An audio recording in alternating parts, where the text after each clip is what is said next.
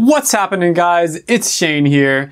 So I posted the video the other day on how you can choose the best college degree for you and a few things came to my attention. One, people tend to get extremely triggered when you tell them they're getting a useless degree. And two, you guys want to see a video on what the most useless degrees are. And I want to be one of the few creators out there that actually cares and listens to what their subscribers want. And so here we go. OP is going to deliver. And all I ask in return is that you very gently tap that like button. I've been seeing this very disturbing trend lately where people are smashing the like button.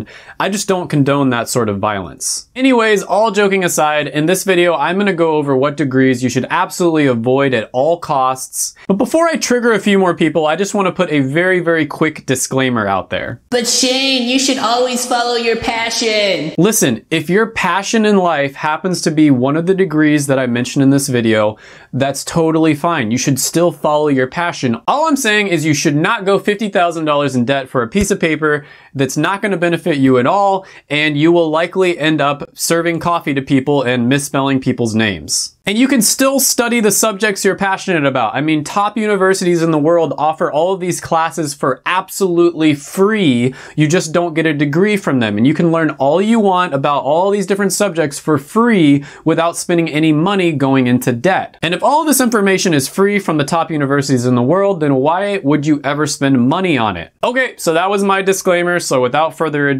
sit back, relax, and enjoy. So number 10 on the list is gonna be psychology. And the reason that I decided to include this on the list, even though you can get a viable job, I mean, you can become a social worker or something like that. The reason I decided to include this one is because it is one of the top five most popular majors, even though it has really, really bad statistics in all of the important categories like job openings, job satisfaction, uh, future growth potential, all of these things that are very, very important. And I find psychology to be extremely interesting. I mean, I took extra classes on it and undergrad. I spent that extra money. It's very, very interesting and I can see why so many people like it, but I don't recommend actually majoring in it. And I'm probably going to get a lot of hate for this one because it is useful. I mean, you can definitely argue on this, but the reason I decided to put it in is because it's so popular and I just think it's one where a lot of people fall into the trap of thinking that they can make money after graduating with this degree. And then they end up five, to maybe even six figures in debt and they can't get a job. So number nine on the list is going to be drama and theater arts. And you might be surprised that this one isn't further down on the list because it does get made fun of a lot. But the reason I put this one further up is because it is actually kind of difficult to teach somebody how to act and all that sort of thing from a book. So this is one that would be a little bit difficult for you to learn just from the free material that's online. You'd have to at least, you know, get videos from professionals or something along those lines. Or maybe you might have to hire somebody who works at a local theater in order and take lessons from them so that they can teach you all the ropes and everything. And because it's so hard to teach someone this particular skill from a book or even videos, that's why I kept it towards the top of the list. But that doesn't change the fact that it's still a pretty worthless degree that you are going to have a hard time getting a job from. So number eight on the list is going to be language studies, and I'm probably going to get a lot of flack for this one because there are some languages out there that, you know, if you learn and you get really good at, you can make a lot of money as a translator.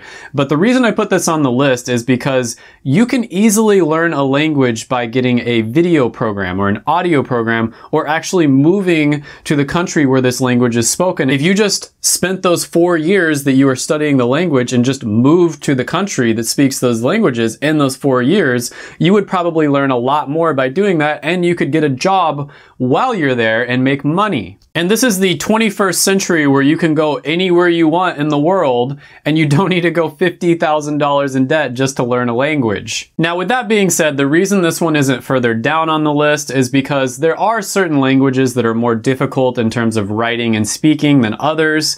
You know, an example of this would be Mandarin or Cantonese, because that is a very useful language. It's uh, something that's going to be very useful to know in the next 50 years as business becomes more international. But at the same time, there are cheaper and probably better ways to learn the language than going to university and getting $50,000 in debt. So number seven on the list is going to be communications. And this one is actually kind of similar to psychology because it's an extremely popular major that people tend to choose. But don't get this too confused because this major is clearly even worse than psychology. And it's one of those majors that really makes you think like, what do you even do with this major? I mean, it's something that's so broad that it becomes kind of useless. Like they might as well come out with like a life degree or a breathing degree or a how to be a millennial degree or a how to smash that like button degree. Now, number six on the list is going to be photography. And this might be one of the most saturated fields on the entire list. We are witnessing a generation right now where basically everybody's a photographer and they all want to become Instagram famous so they can get that sweet, sweet influencer money. Then when that doesn't work out, they decide to become an amateur photographer and you make the mistake of hiring them for your wedding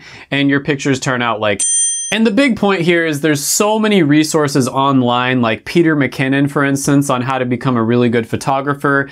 And a lot of them are free or very, very cheap, and you can get high quality training. And this is one of those skills where you really just have to practice in order to get better. I mean, learning about it in a classroom isn't going to help you out that much, and getting a degree is not going to give you that much of an edge. You definitely do not need to spend five figures on this. And one of my best friends actually moved to the country barely knowing any English. He taught himself photography and he became one of the top wedding photographers in Las Vegas within just a few years. And he didn't have to go to university for this. He didn't have to buy some expensive course or go into debt for this. He basically learned it all from free resources or very, very cheap resources. And then he just practiced, practiced, practiced. And once you get really good at a skill like this, you know, it doesn't matter what credentials you have next to your name. What really matters is your portfolio because that will speak for itself. Okay, so these bottom five are getting really, really hard for me to pick because they're all so damn worthless. So number five on the list is going to be fine arts. And the reason this one is ranked even lower on the list than something like, you know, drama or theater is because at least in drama or theater, you know, you kind of do need to talk to a live person in order to learn it. But with fine arts, everything you need to know you can absolutely learn just by reading books or watching videos or just hanging out and making friends with other people who are doing the same type of art as you. I mean, okay, I'm not even to get into this one anymore. Um, I'm just to move on. Number four on the list is going to be anthropology slash archaeology. So when I was doing research on making this video, this one actually had the worst statistics out of every single one on the list in terms of, you know, actually getting a job, getting hired, you know, percentage of job growths and jobs are going to open up in the next decade. I think this one was actually the number one worst on the list. And listen, with a job like archaeologist, you're not going to get a job from getting a degree. If you want to break into this field, you're going to have to get creative about how you do it because there's simply just not that many job openings available. You got to get creative with this because there's just not that many job openings available and the only thing you're going to end up rediscovering is your dignity when you have to pay all those student loans back. So number three on the list is going to be art history. And this one beats all of the other art degrees because it's not even art. It's the history of art. Like, you've got to be kidding me. You can so easily just go and buy a textbook. Like, you don't even have to watch videos on this. Just go buy some textbooks online. They're very, very cheap after a few years. And then just go watch videos on YouTube about art history. It's just simply not a marketable skill. You should never spend that much money on something like that. I mean, this one is just it, it's it's painful to even think about or talk about. And, and, each one of these, as I'm getting closer to number one on the list, are just getting more and more painful. Number two on the list is going to be religious studies.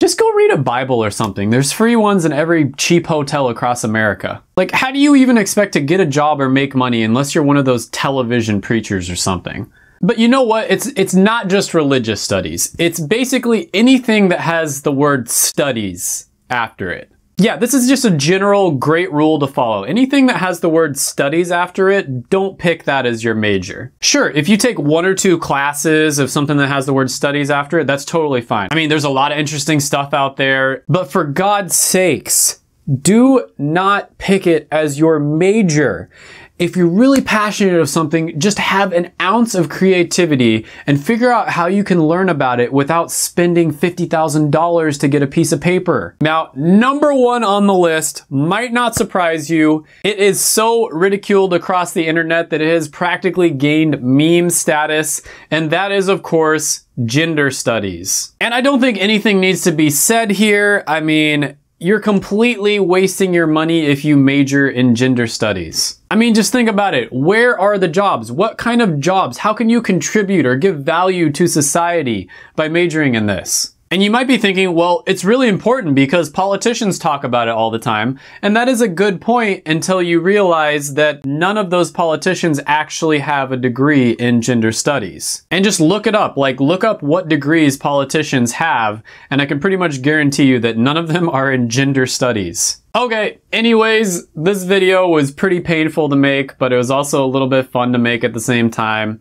Um, go ahead and hit that like button, hit the subscribe button, uh, hit the little notification bell, comment down below on what videos you'd like to see next, and I will be dropping a bunch of very, very awesome videos here in the near future, so stick around. Bye for now.